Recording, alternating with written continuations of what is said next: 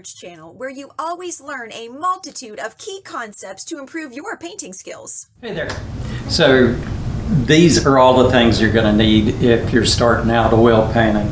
Uh, that list can be endless, but this is your starting package, I would say. So, let me go over those things. First thing, of course, you need some coffee or hot chocolate, hot chocolate in my case. And once you have that energy, then you can go in full force, right? So, yeah, of course, you need uh, canvases. Uh, this is 11 by 14, give you kind of an idea of how big of a size that might be. And I would say starting out, try to start with smaller canvases. Don't get into really large things because it just takes too long to get a painting completed. Um, 8 by 10, 9 by 12, 11 by 14. That's probably some good sizes to start with. Um, but let me point out, 9 by 12, it's hard to get frames for 9 by 12s. So 8 by 10 or 11 by 14 might be the way you'd want to go. Um, something you may not have thought of is a, a brush washer, or I call them a thinner bucket. You know, it's where you put your solvent these are great, and I would highly suggest that you get one, particularly if you're going to a class and so you're having to transport solvent with you. Um, you know, a baby food jar will work, but those lids pop off pretty easily. Mason jar works, they do seal down pretty good, um, so that, that's an okay thing. But what you'll notice is, is that your solvent, um, as you begin to use it and it builds up kind of sludge from, you know, washing your brush off over and over again, uh, that it will cause your solvent to get very murky and muddy and gooky.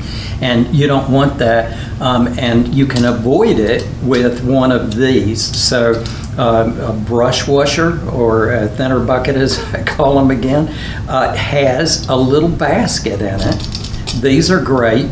The little basket has a bar for you to kind of rub your brush against so that you can kind of help get that sludge out of your brush and into the solvent. But also, the sludge will go on through here down into the bottom of this little metal bucket. And so uh, you always have clean solvent up here where you're working from. Also, when you're transporting them, they have a rubber seal around the lid, and so whenever you put this on with the latches that come around, and I would suggest if you are transporting uh, to get one that has three latches on it instead of two. It holds it down really nice and firm and you won't have problems with it leaking if it were to fall over in the car. Another good thing is to get one that has a wide base. A lot of them are squared off, and if it rounds out at the bottom, it's much more stable. Uh, other things that you're going to need are brushes. Wide, wide variety of brushes out there. So um, I don't think the style of brush that you use is as crucial as the quality of the brush that you use. A lot of people, when they start out, a lot of students, um, they will just buy like a big 10 pack of brushes or something. And I want you to notice this that the the bristles on the brushes are all spread out and all frazzly looking it, it makes it hard to have control with what you're doing with your painting. So the, the type of brushes that I like personally are flats or brights. That's those brushes that have that squarish sort of look to them. You'll notice that a flat is a little longer than a bright. And so the, the bright bristles, um, because they're closer to the ferrule, they stay a little firmer together and uh, you, you, get a little more control with them. The uh, bristles don't sway over as you're painting on your canvas. So uh, these are great. I really like them, and good uh, a good uh, flat or a good bright. If you look at it from the side, what you'll see is, is it is sharp as a razor. And if you have a, a brush that's really sharp like that, um, you can use the corner point of it to do really fine detail work even with a large brush. So these are what I suggest to you. Some brands that I would suggest to you. Uh, Robert Simmons, I, I, think, is just really premium brushes. Their Hog's Hair Bristle Brush is, um, it, has natural bristles that are really stiff. And so you can do certain textures like an old barn sort of texture with those. Um, so the Robert Simmons Signet brushes are those and they're really good. Uh, Robert Simmons sapphire brushes, the blue handled sapphires, uh, are a synthetic brush that are just smooth as silk. And so I really like those. Um, cheaper brushes that are still high quality, uh, some Princeton brushes or something that you might look at. And um, if you're in an area where there's a Hobby Lobby, Hobby Lobby's uh, Masters uh, brushes, Masters Touch brushes, are actually pretty good brushes. Um, so, you know, there are brushes in local stores that you can get that are pretty good. Here's what I would suggest to you, though, to watch out for. You will walk in and see a brush that has that nice, sharp, crisp edge on it. And when they manufacture the brushes, they put starch on those brushes so that it stays like that. So it's nice. But as soon as you use it, it breaks the starch, the sizing, and then they spread like crazy lots of times. So I would suggest this walk into the store, take your finger and move it back and forth on the bristles a few times. If it's still nice and sharp, you got you a good brush. If it has three hairs sticking straight out to the side, uh, maybe you could trim those, but uh, if all of them spread out like that, mm, put it back, you probably need to get a different brush. Okay, a different brush that isn't a brush at all is a palette knife, and that is used for painting. It's also used for mixing paint. Really good for mixing paint. You can see my other videos on that, on why you might want to use a palette knife always on mixing paint. Um, a fan brush is something you may have seen Bob Ross use many times, but you'll notice mine's all beat up and broken. I have another video on how to modify your fan brush in order to be able to paint grasses. This is what I call a modified fan brush, and it is excellent for being able to do that. Great tool. Um, paper towels. When you're painting, you're constantly having to clean your paintbrush off. And I suggest, this might sound silly, but a specific brand, Bounty paper towels. I'll tell you why, is because Bounty is both kind of cloth-like and paper-like. And because of that, you can create certain kinds of textures in your paintings by actually painting with a paper towel. And then, of course, you want to be able to clean things constantly. So you're going to want paper towels.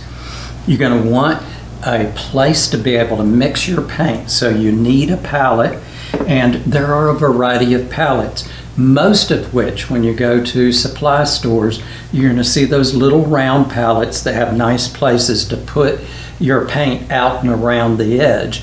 And then in the middle is a nice place to mix one color of paint before you're going to have to clean it out and start over again because it's just not big enough. So you want a nice big palette. So um, there is paper that you can buy so it comes almost like a sketch pad where you can pull pieces out um, and that's called palette paper. Um, so uh, and lots of them come toned gray, which is a, a, good color to mix paint on so you can see your colors really well. Um, all of this that I'm telling you is going to be in the description down below. There'll be links that you can go specifically and see each of these items, um, affiliate links, so you can go directly to that and buy it if you want to, or just kind of browse and check it out. Um, but also, um, it, you'll find a link below for these glass palettes. I make these myself, and uh, this is mine. That's the reason it looks so beat up. I've been using it for years. But um, glass palette, strong, doesn't break easily, and um, when you go to clean up, you can just scrape off with a little flat blade scraper like that. um, I put um, uh, gray enamel paint and bake it onto the back so that when you're looking at your colors, you see your colors very clearly. So you can go to that link will take you to my website and you can get one of those on there if you would like. Let's talk paint. So when you're starting out, what I suggest is to start out with a limited palette. So in other words, only the essential colors. So another thing you're going to need is paint. So when you're starting out, a good way to start out is with a limited palette. That means just as few colors of paint as possible. Uh, one of the main reasons for that is, is that starting out, it's expensive to get all of this all at one time. And so if you don't have to get certain paint colors, that would be great. Um, another really important reason if you're going to develop as a painter is a limited palette uh, kind of causes you to mix paint more. You're not just buying a color for every possibility. And uh, a good limited palette, the one that I use, is this. It is each of the primary colors, so red, yellow, and blue, uh, in a warm and cool version of that, and if possible, a light and dark version all at the same time. I'll show you what I mean.